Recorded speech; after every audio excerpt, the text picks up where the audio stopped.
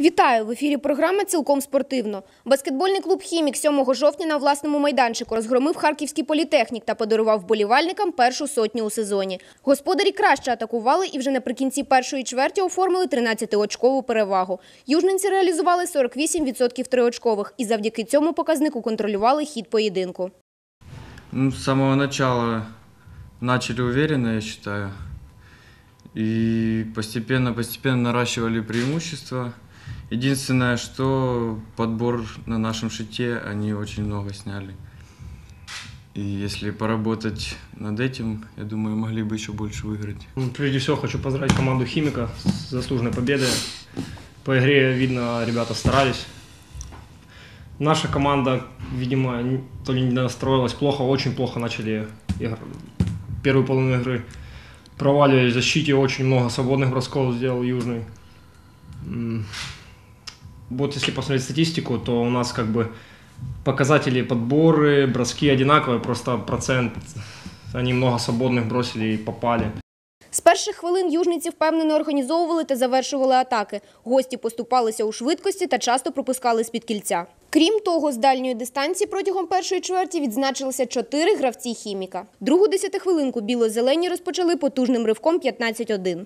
Вдало діяв з різних позицій ще один южницький снайпер Віталій Мальчевський. Протягом чверті господарі змушували суперника помилятися та здійснювали фастбрейки. Пристрілявся і молодий южненський вихованець Кирило Марченко. Він же результативно атакував під завісу першої половини, встановивши рахунок на табло 57-32. У третій чверті захисні дії політехніків дещо покращились та щось почало виходити в захисті. Проте для камбеку цих моментів було занадто мало. Харків'яни знову припустилися помилок та відпускали суперника у швидкий відрив. Корисним у трисекундній зоні став і Сергій Павлов, який загалом набрав 17 очок. Після чергового триочкового у виконанні хіміка різниця в рахунку сягнула 35 очок. У кошику суперника відзначилися всі заявлені на матч гравці. Слід відзначити, що останню чверть харків'яни виграли 21-24. Проте ситуації це не змінило. Більше ніж впевнена перемога южниців з рахунком 100 на 73. Выиграли достаточно легко, контролировали игру. Настраивал на то, что Харьков на данный момент это э, совсем другая команда по сравнению с той командой, которая была в прошлом году. Да, у них э, достаточное количество легионеров, э, играют неплохой баскетбол.